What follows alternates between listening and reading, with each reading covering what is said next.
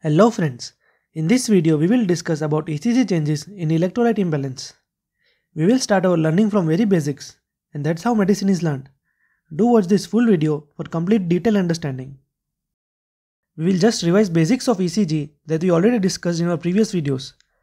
This is our normal ECG waves.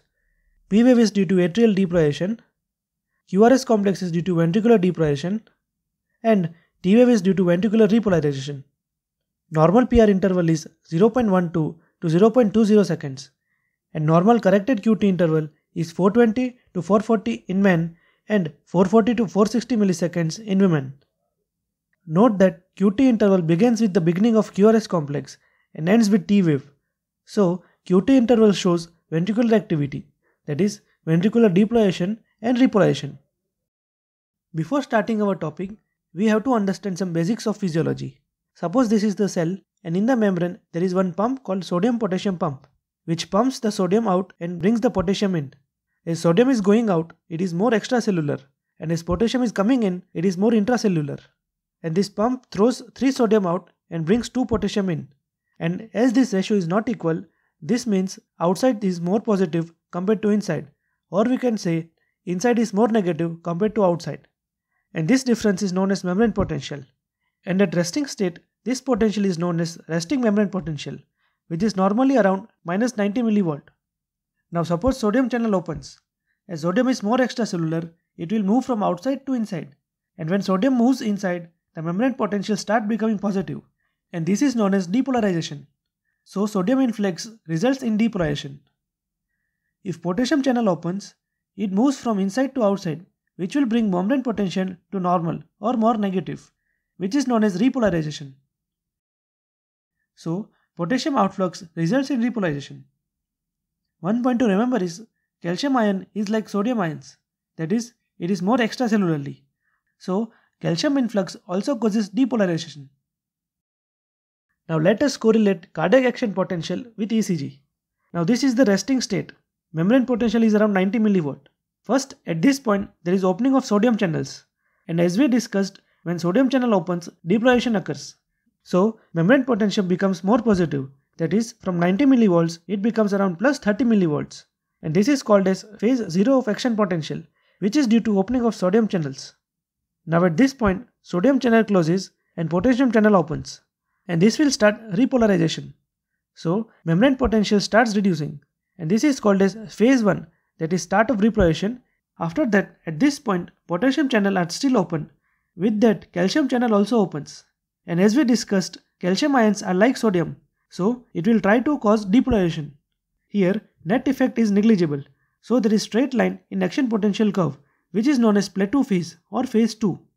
Now the calcium channel closes and only potassium channels remain open, which will complete repolarization and bring the membrane potential again to resting state and this is called as phase 3. This is normal action potential of the heart. As per our discussion till now, phase 0 and 1 correlates with ventricular depolarization and phase 3 correlates with ventricular repolarization. And phase 2 is plateau phase which is time between ventricular depolarization and repolarization. So in turn we can say that phase 0 and 1 will correlate with QRS complex and phase 2 with ST segment and phase 3 with T wave in ECG. Now with this concept in our mind, let us discuss ECG changes in electrolyte imbalance. First we will start with calcium imbalance. Normal range of calcium is around 8.5 to 10.5 mg per deciliter. We have to keep in mind normal action potential curve. First of all hypercalcemia. Now we know that calcium acts in phase 2 of action potential and calcium is like sodium ion which will cause depolarization. If calcium is more, there will be more depolarization which will increase myocardial contractility and irritability and in turn shortens the phase 2 of action potential. And as we discussed, phase 2 correlates with ST segment. So in turn, this will cause short ST segment which is a part of QT interval. So finally, there is short QT interval. Other ECG findings are wide and flat T wave whose mechanism is unknown. And this also increases the risk of certain conduction block in ventricular arrhythmias. Next is hypocalcemia. Due to low calcium levels, phase 2 of cardiac action potential prolongs due to slow depolarization, which correlates with ST segment of ECG. So, due to prolongation of ST segment, QT interval is also prolonged and this is the main change in hypocalcemia. This wide QT interval also increases the risk of arrhythmia known as torsades de pointes, which is characterized by broad QRS complex with varying amplitude. Next is potassium. Normal range is 3.5 to 5.5 millimole per liter. First we will discuss hyperkalemia. Potassium efflux mainly causes repolarization and mainly affects phase 3 of cardiac action potential. For potassium, you need to remember ECG changes according to values. If it is more than 5.5, there will be tall and peak T waves. This is because of prolonged phase 3 of action potential. Then if the potassium value is more than 6.5, it will affect atria also, which causes widening of P wave, which causes prolonged PR interval, and eventually P wave may disappear. Then when potassium is more than 7.5, there is widening of QRS complex, indicating its effects in phase 1. There is also narrowing of ST segment. And lastly, when it is more than 8.5 or 9, there is sine wave pattern because of fusion of QRS complex with T wave. And this has highest risk of ventricular fibrillation and cardiac arrest. This slide summarizes ECG changes in hyperkalemia. Note the peak T wave, then flattening of P wave, followed by broad QRS complex and lastly sine wave pattern. Next is hypokalemia. As potassium is low, repolarization will be affected and so it will cause cardiac muscles hyperexcitability. Hence there is increased risk of arrhythmias like atrial fibrillation and torsades de pointes. The earliest changes will be prominent U waves, which is small positive reflection after T wave.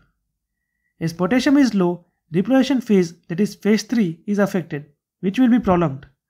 It leads to prolonged QT interval and flattening of T waves and subsequently it causes ST depression. Hypokalemia also prolongs PR interval because conduction through AV node, bundle of His and bundle branches are affected.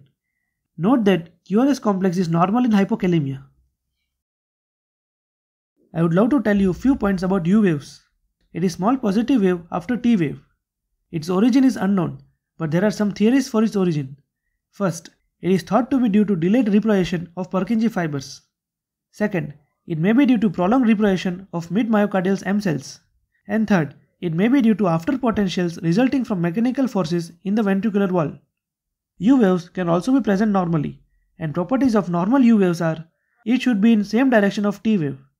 Then voltage of U wave is normally less than 25% of T wave voltage, and maximum normal amplitude of U wave is 1 to 2 mm. Then abnormalities of U wave. First is prominent U waves.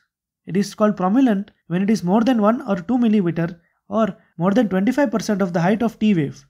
The prominent U waves are most commonly seen in severe bradycardia and severe hypokalemia. Second is inverted U waves. U wave inversion is abnormally in leads with upright T waves. It is highly specific for presence of heart disease, especially coronary artery disease. In patients presenting with chest pain, inverted U waves are very specific sign of myocardial ischemia. It may be earliest marker of unstable angina and evolving myocardial infarction. Then magnesium abnormalities.